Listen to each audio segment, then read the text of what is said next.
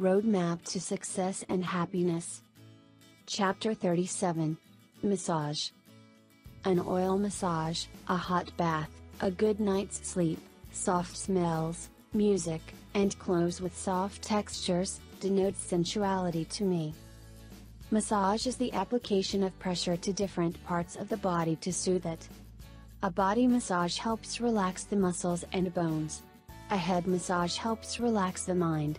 The better flow of blood circulation also results in heightened alertness of the brain, enhancing efficiency at work. And by stimulating blood flow to the head, a head massage slows down balding. Massage is also sedative in nature. During a massage, the mind relaxes and slows down. At times a massage can even put you to sleep. Massage therapies are well developed in the Orient, the Middle East, and Sweden. The Touch Research Institute at the University of Miami School of Medicine has done extensive research on massage therapy. It has found that it not only helps alleviate pain in conditions like arthritis, back pain, and headaches, but also helps the body release less of the stress hormone cortisol.